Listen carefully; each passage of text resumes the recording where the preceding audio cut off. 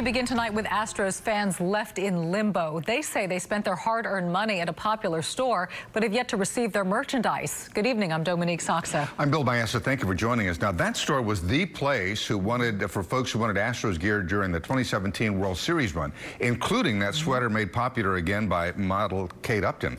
But now frustrated fans say they're left without their money and without their Astros gear. Channel 2 Sophia Beausoleil live outside R&A Sports in Conroe, where the owner is nowhere to be found. Sophia? And we tried reaching out to him. We came to the store. It's empty. It's been closed. We even reached out to his soon-to-be ex-wife who filed for divorce. She said she hasn't heard from him either. And you know, some of the upset customers include people who actually paid and gave their own jerseys and memorabilia to the owner so that he could get them signed by professional sports players. But that hasn't happened, and they still haven't received their personal merchandise.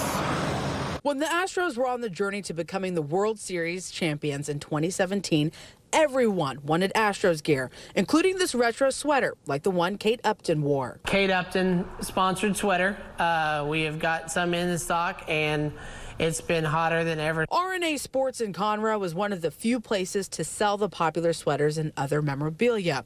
We even featured the owner, Rich Mendenhall, in his store on KPRC Channel 2 News. I decided to give him my business. Sergio Cabrera purchased an Astros jersey from R&A Sports that was on sale for $70 last year.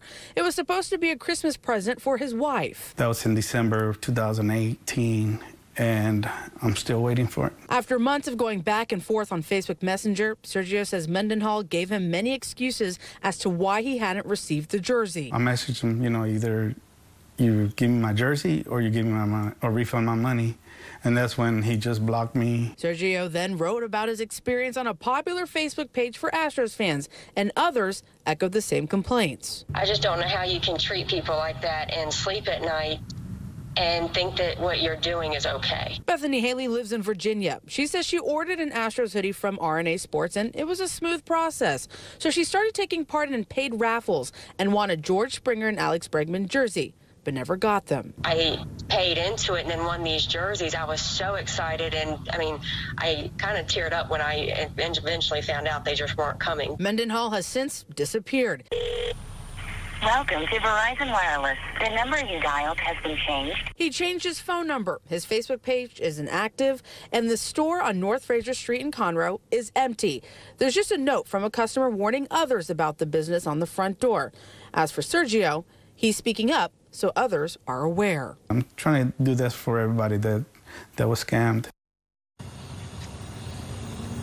Now, Rich Mendenhall has not been charged with anything. Conroe police say people can file a police report, but ultimately, this is a civil matter. Reporting live from Conroe, Sophia Beausoleil, KPRC, Channel 2 News. Thank you, Sophia.